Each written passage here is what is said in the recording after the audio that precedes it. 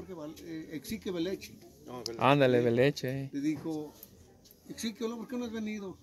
No, es que mi papá me dijo que, que a veces tiene sus dolores y que le ofende. No, no, tú ven, tú ven. Iba y ahí le tocaba y cantaba canciones él ahí y todo. Y de repente se desapareció. ¿Pero quién le cantaba? Jorge Valente. Porque ella ahí Ah, eh, eh, apenas andaba él con su guitarrita, él hacía equipales. Y con su guita- guitarrita iba con mi papá y le, le cantaba pues canciones. ¿no? Y entonces se fue. Y un día llegó este, mi tío Gilberto con esta, con, con la artista, esta, ¿cómo se llama esta? Una flacotella, bien buena para cantarla, cabrón. Sabe, sabe, sale en las películas ahí. Muchas Reyes o no me acuerdo. Ajá. No, hombre, hijo de la chan.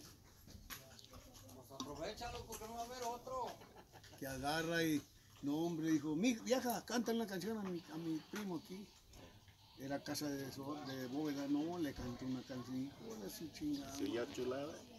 Esa estaba delgada, pero esa de, de veras tomaba mucho y fumaba mucho. Ah, Esa fue la que se lo llevó de aquí de Guadalajara, él.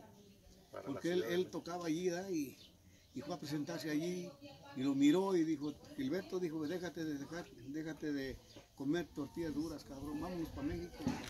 No, yo que voy, vámonos. Y él, él la- lo subió pues, lo subió y se juntó con ella y todo, pero, ¿sabes? Sí. ya te digo, no, vieras. Oh, qué bien. Entonces sí conociste, pues hay gente de allí de... No, sí, era mi tío Gilberto, Parra.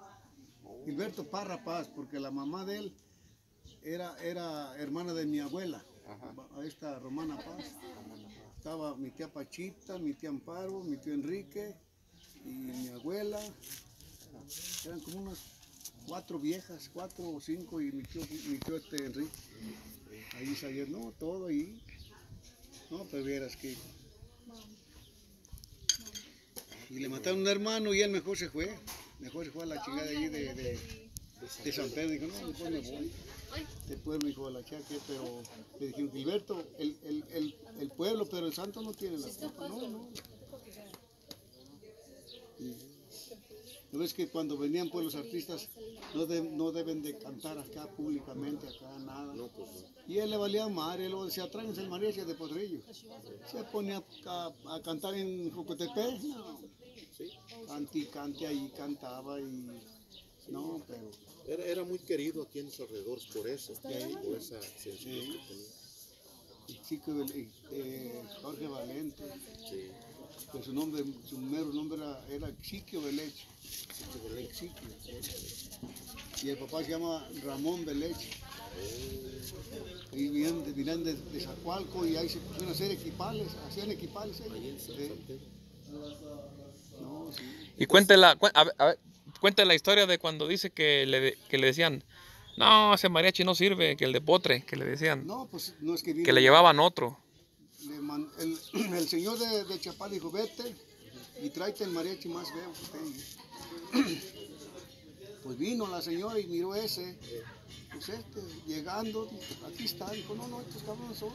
Ya lo trajiste, nomás le tocaron una hora, llévatelos.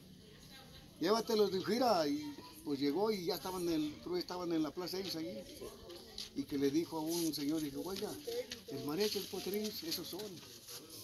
¿Esos? Me llevé a aquellos, estaban bien, bien horribles, estos están peor. bueno, no, cuando llegó allá a Chapala, que dijo, estos, estos cabrones son, dijo, échale. No, mariachazo, hijo de la cha que tenía en aquel tiempo, mariachi. Sí. Y no, ya cada año que venía, vieja, ya, ya voy, que los hay un día.